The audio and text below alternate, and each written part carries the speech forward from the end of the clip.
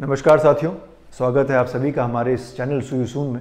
आशा करता हूँ कि कोरोना संक्रमण के इस दौर में आप सब लोग स्वस्थ होंगे, अपने घरों के अंदर सुनिश्चित बैठे होंगे और दूसरों के भी हेल्थ को नज़रअंदाज ना करें। और साथ ही साथ अपने परिवार हैं, जो आपके दोस्त हैं, मित्र हैं, आपके जो ऑफ़िस के कार्यकाल में जो आपके साथ लोग जुड़े हैं, उन सब की सेहत का आप ख्याल रखें और उसको सुनिश्चित तरीके से सुरक्षित करें। दोस्तों, आज का जो एपिसोड है, इसमें एक बड़ा हम एक रोचक विषय आपसे चर्चा में लाना चाहते हैं, जो कि मास्क को लेके है। कोरोना पिछले साल हमारे देश में आया, उसके बाद मार्च में लॉकडाउन हुआ तीन महीने का, उसके बाद से लोगों ने मास्क पहनना शुरू कर दिया। लेकिन मुझे लगता है, बीच में कुछ ऐसी गड़बड़ रही कि लोगों ने या तो मास्क ढंग से नहीं पहने, या ऐसा समझा कि वो इस अदृश्य जो प्राणी है, जिसका नाम कोरोना है, या कोविड नाइन्टीन उससे अकेले ही लड़ सकते हैं।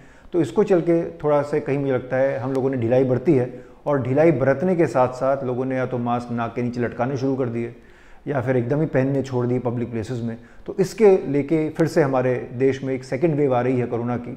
और हाल ही में, अभी जो कुछ दिनों पहले दिल्ली हाईकोर्ट का एक जजमेंट आया है मास्क को लेके, वो हम आप तक आज इस कानूनी अपने चैनल सुयूसून के ज़रिए पहुंचाना चाहते हैं। तो आइए ज़रा समझ लेते हैं कि दिल्ली हाईकोर्ट का जजमेंट क्या बात करता है। इसकी पृष्ठभूमि कुछ इस तरीके की है कि चार वकील साहब लोगों के ऊपर अलग अलग टाइम पर चलान कटे। चलान इसलिए कटे क्योंकि दो वकील साहब लोगों ने मास्क नहीं पहना हुआ था जब वो अकेले अपनी कार को ड्राइव कर रहे थे सड़क पर। तो पुलिस वाले ने उनको रोका, उनके चलान काटा और उनको बोला कि देखिए, कानून ये कहता है और कि आपको मास्क पहनना है। बाकी जो दो वकील साहब थे, किसी ने एक ने साफा लगाया हुआ था, किसी का शायद कान से मास्क लटक रहा था, उसके चलते भी उनका चलान हो गया। तो ये चारों वकील अलग अलग याचिका के द्वारा दिल्ली हाईकोर्ट तक आए और उन्होंने ये बोला कि अगर हम कार में अकेले बैठते हैं तो जो हम पे चालान कटा है, वो गैर कानूनी है या वो कानून की प्रणाली में नहीं आता और ये हमारे साथ गलत हुआ है। इसको माननीय दिल्ली हाईकोर्ट ने सुना और याचिका को खारिज करते हुए उन्होंने दो तीन अहम बातें की। उन्होंने पहली बात तो ये बोली कि जिस कानून के तहत मास्क पहनने को आपको बोला गया है और जो कोरोना संक्रमण बढ़ रहा है, ये तीन कानूनों में आता है। एक, एपिडेमिक एक्ट की बात हुई। डिजास्टर मैनेजमेंट एक्ट की बात हुई और इंडियन पिनल कोड की बात हुई। इसके अलावा बाकी कुछ और विषयों की भी चर्चा हुई है इस जजमेंट पर।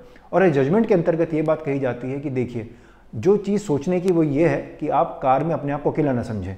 क्योंकि जब आप कार चलाते हैं तो कई बार ऐसा होता है कि एसी चलाने से पहले हो सकता है आप अपनी खिड़की नीचे करें या खिड़की उस नीचे करते, बाहर अगर कोई आदमी है और उसको अगर कोरोना है तो आप तक वो कोरोना पहुँच सकता है। और अगर आपने मास्क उतारा है या आपने थोड़ी सी लापरवाही बरती तो कोरोना आप तक पहुँच सकता है। दूसरी बात अगर आप अपनी गाड़ी में सफ़र करते हैं और गाड़ी में सफ़र करते हुए बाहर उतर के किसी सुपरमार्केट, मार्केट, स्टोर या किसी और जगह, या मान लीजिए अस्पताल ही आप जा रहे हों या स्कूल जा रहे हों और वहाँ पहुँच जाते हैं और अगर वहाँ आपने एहतियात नहीं बरती या आपने किसी सरफेस को छू लिया, क्योंकि ये जो कोरोना है सिर्फ़ एयरबॉर्न नहीं है सरफेस टू सरफेस टच से भी फैलता है तो इसके चलते जब आप अपनी गाड़ी में वापस बैठेंगे तो मान के चलिए कि तब तक आपने कोरोना से कॉन्टैक्ट कर लिया कि किसी भी सरफेस से या किसी भी व्यक्ति से तो जब अपना आप मास्क उतारते हैं तो हो सकता है आप उस चीज़ को इनहेल कर दें। क्यों?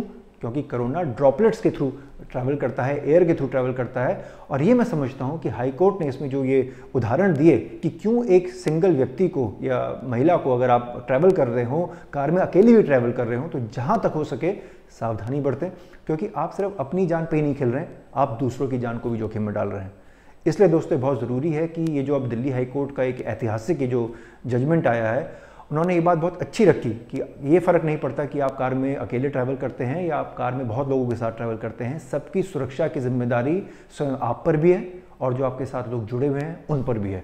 तो अब इस चीज़ को एक कानूनी, आप कह सकते हैं प्रेसिडेंट मिल गया है, एक कानूनी ताकत मिल गई है और दिल्ली हाईकोर्ट के जजमेंट का मैं स्वागत करता हूँ, क्योंकि मुझे लगता है कि एक देश हित में ये जजमेंट जारी हुआ है। समाज के हित में इस कानून को लागू किया गया है अब ये तो पता नहीं कि इसको अपील किया जाएगा कि नहीं किया जाएगा, पर जहाँ हम आज खड़े हैं इस विषय को देखते हुए और जो कोरोना संक्रमण की जो दूसरी वेव रफ्तार से गति पकड़ रही है हमारे देश में, मैं समझता हूँ कि एक बहुत एक एक संवेदनशील विषय पर जजमेंट लाया गया है और हमको इसको एक ईगो इशू नहीं बनाना चाहिए और जहाँ तक हो सके अपने को भी स्वस्थ रखें सेफ़ रखें और जो आपके साथ लोग जुड़े हुए हैं, चाहे आपके परिवार के हों, चाहे आपके ऑफ़िस के हों, किसी भी सर्कल के आपके दोस्तों, उनको भी हम कोरोना से बचाने में पूरी सहायता करें। तो दोस्तों, आशा करता हूँ कि आपको ये आज का एपिसोड हमारा पसंद आया होगा।